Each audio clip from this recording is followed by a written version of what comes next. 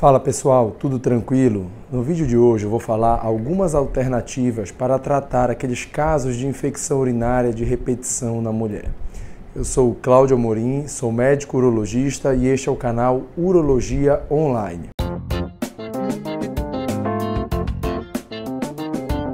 Bom pessoal, antes de começar eu gostaria de pedir que você se inscrevesse no canal, deixasse um like e compartilhasse esse conteúdo com quem você acha que possa se beneficiar dessa informação certo? Então vamos lá. Bom, a infecção urinária é muito comum na mulher, né? A gente atende muitas pacientes no consultório no nosso dia a dia com essa queixa, com esse problema de infecção urinária. A gente acredita, estima-se, né, que aproximadamente 50%, metade das mulheres, né, vai ter pelo menos um episódio de infecção urinária ao longo da vida.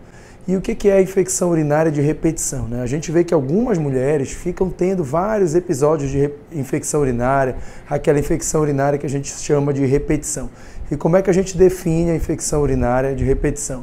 É aquela paciente que vai ter três ou mais episódios de infecção em um ano ou dois ou mais episódios de infecção em seis meses.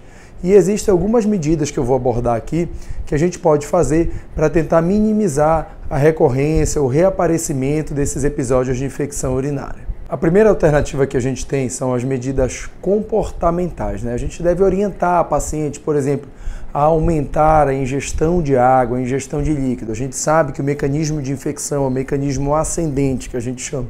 São as bactérias ali da região da vagina, da região perianal, ali do períneo da mulher, que sobem pela uretra e chegam na bexiga causando a infecção urinária. Então, se a mulher aumentar a ingestão de água, de líquido, né, ela vai urinar mais e vai diminuir esse mecanismo ascendente, vai lavar mais a urina, lavar mais aquelas bactérias que estão ali naquela região.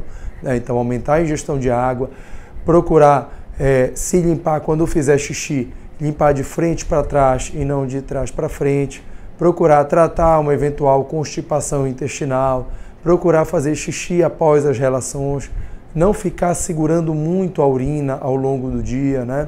Outra coisa que ela pode fazer também é evitar o uso de duchas, né, na região genital, evitar o uso de roupas oclusivas, roupa íntima oclusiva muito apertada. Então todas essas medidas elas devem ser tentadas, ainda que algumas tenham um nível de evidência um pouco fraco, essas medidas devem ser tentadas antes da gente partir para um tratamento mais invasivo partir para um tratamento, por exemplo, como um antibiótico mais prolongado. A gente deve tentar essas medidas inicialmente. Existe inclusive um estudo que avaliou mulheres que não bebiam muita água e foram orientadas a beber pelo menos um litro e meio de água por dia. Foi observado que essas mulheres que tinham infecção antes né, e não bebiam muita água passaram a ter menos episódios de infecção e o uso de antibióticos por parte dessas mulheres foi diminuído né, nesse período que elas começaram a beber mais líquido. A segunda alternativa é a aplicação de estrogênio tópico, né, de creme de estrogênio ali na região da vagina. A gente sabe que o estrogênio, o hormônio feminino, né, ele mantém a vagina mais trófica, né, isso protege contra infecções urinárias. Né, e conforme a mulher vai envelhecendo, esse nível de estrogênio ela entra no climatério, esse nível de estrogênio decai, né? Então ela sofre uma atrofia vaginal. Isso vai favorecer o aparecimento de infecção urinária nas mulheres mais idosas, né? E a gente sabe que a reposição de estrogênio ali tópico pode melhorar, pode minimizar o aparecimento de novas infecções urinárias nesse tipo de população, nesse perfil populacional de mulheres mais idosas. Né? Existem inclusive trabalhos que pegaram mulheres jovens, né, pré-menopausas, mas que usavam o anticoncepcional e que tinham infecção urinária e aí se beneficiaram também da reposição de estrogênio tópico. Isso é mais uma prova de que esse efeito do estrogênio ele tem um fator protetor e ele pode ajudar as mulheres, sobretudo que já estão no climatério, já tiveram a menopausa, a diminuir a recorrência de infecção urinária. Outra alternativa que nós temos para combater a recorrência das infecções é a imunoprofilaxia, né? conhecida até como a vacina para a infecção urinária. Né? O que, que é isso? É um medicamento, é um composto de um lisado bacteriano. O que, é um lisado bacteriano? São pedaços de bactéria, né?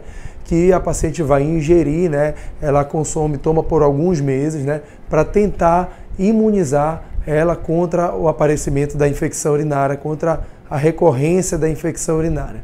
E existem estudos mostrando um certo benefício desse uso da imunoprofilaxia nas mulheres, né?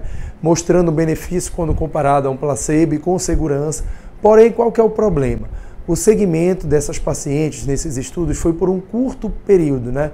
Foi um segmento curto, então isso a gente não consegue extrapolar esses bons resultados para um segmento mais longo nessas pacientes. Outra coisa que nós podemos lançar mão é o uso de probióticos, né? Que seriam a ingestão de lactobacilos por parte dessas mulheres. O que são, o que são esses lactobacilos? São bactérias, né? Que a paciente vai ingerir através de líquidos, de medicamentos, Existem também preparações tópicas vaginais com lactobacilos. Isso aí o que, que visa? A gente visa com isso tentar restaurar aquela flora bacteriana da mulher que vai proteger ela contra as bactérias causadoras de infecção urinária. Né? O que a gente sabe é que são algumas bactérias, alguns lactobacilos que teriam um efeito, né, que iriam beneficiar essas mulheres. Existem trabalhos mostrando benefícios dos probióticos, porém a gente ainda tem evidências um pouco limitadas, né, para que a gente recomende de maneira mais forte a utilização dos lactobacilos na prevenção da infecção urinária de repetição. Outra alternativa seria a utilização do cranberry. Né? O cranberry é famoso, existem compostos com cranberry né, que são é, divulgados e oferecidos como é, alternativa no tratamento da recorrência da prevenção de infecção urinária de repetição. Bom, infelizmente a gente ainda não tem dados suficientes, os estudos são divergentes e a gente ainda não tem uma padronização quanto à dose, quanto ao tempo de uso do cranberry na prevenção da infecção urinária de repetição. Né? Então a gente ainda pode até recomendar para paciente, mas sempre informando que os dados são limitados, que as evidências de benefício real do cranberry, a dose e o tempo de utilização ainda são desconhecidos. Portanto, na prática, a paciente tem que estar ciente, né? que ela pode utilizar o cranberry, mas que pode não ter o benefício esperado com ele. Outra maneira de prevenir a recorrência seria a utilização de demanose. O que é isso? É um carboidrato que é ingerido né, e é absorvido no intestino e vai ser eliminado na urina. O que, é que vai acontecer? Ele vai impedir que as bactérias se liguem na bexiga da paciente, impedindo a ocorrência da infecção urinária. O grande problema é que também com a demanose a gente ainda não tem dados suficientes, a gente ainda precisa de mais estudos que comprovem a sua real eficácia. Portanto, a gente não pode recomendar ela fortemente né, na nossa prática clínica como fator de prevenção, como alternativa na prevenção da infecção urinária. A próxima alternativa seria a realização de instilações vesicais. O que, que é isso? O que seria isso? Seria a injeção de substâncias dentro da bexiga, como ácido hialurônico e o sulfato de condroitina que, que eles visam? A gente visa com isso tentar restaurar a camada de glicosaminoglicanos da bexiga, né, que é uma camada protetora da bexiga. Né? Existem estudos que mostraram uma diminuição do número de episódios de recorrência de infecção urinária e um aumento entre o tempo de recorrência de um episódio para o outro. Né? Porém, a gente ainda precisa de mais estudos, ainda precisa de dados mais fortes para que a gente diga que essas instilações vesicais de fato previnem a recorrência de infecções urinárias. Outra alternativa seria a utilização do hipurato de metenamina. Isso é uma substância muito utilizada na Escandinávia, né? nos países como Noruega, Suécia. E o que é isso? É um bacteriostático, né? é uma substância que vai paralisar a ação da bactéria, né? sem de fato matar ela. Né? Porém, a gente ainda tem dados muito contraditórios sobre o real benefício dessa substância na prevenção da infecção urinária de repetição, então a gente não consegue ainda recomendar ela de fato para prevenir a infecção urinária. Outra alternativa seria antibiótico profilaxia. O que, que é isso? É você dar antibiótico para paciente, uma pequena dose de antibiótico todos os dias, dependendo do esquema todos os dias ou a cada 10 dias, dependendo do antibiótico, né? E esse antibiótico ele é dado por um período de tempo, né? Essa é a principal maneira, a maneira que comprovadamente é a mais eficaz de, re, de evitar a recorrência das infecções urinárias. Né? É a maneira que foi mais estudada e que demonstra uma superioridade em relação ao uso de placebo ou ao uso de ou a não realização de tratamento algum. Então, antibiótico profilaxia, a gente usa o antibiótico em pequenas doses, como eu falei, por um período prolongado, né? E existem vários esquemas, né, de utilização de antibiótico. A maioria deles vai utilizar um antibiótico por 3 a 12 meses, né?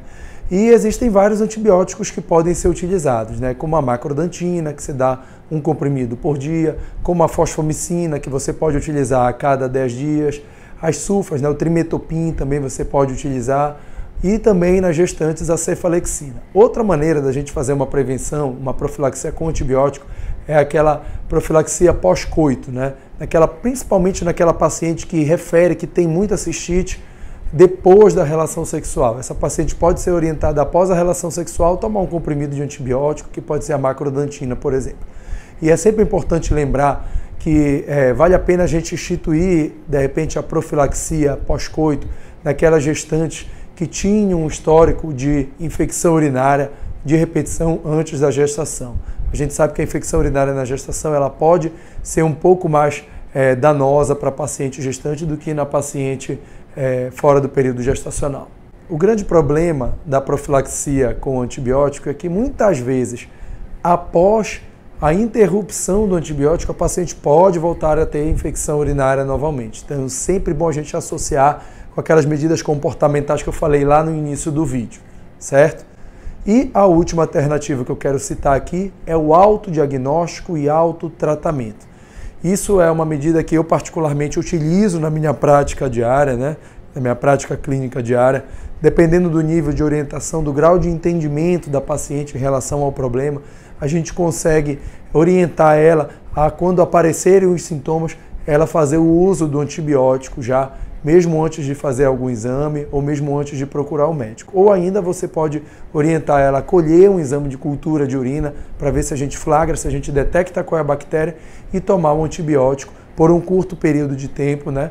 Naquele período que ela voltar a apresentar os sintomas. Certo, pessoal? Então é isso que eu tinha para falar hoje. A infecção urinária é muito comum nas mulheres, é muito comum no nosso dia a dia. Eu tenho certeza que diversas mulheres vão se identificar e eu espero que esse vídeo ajude ao maior número de pacientes possíveis. Certo, pessoal? Então é isso, é isso que eu tinha para falar hoje.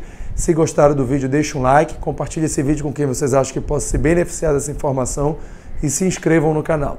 Um grande abraço e até a próxima.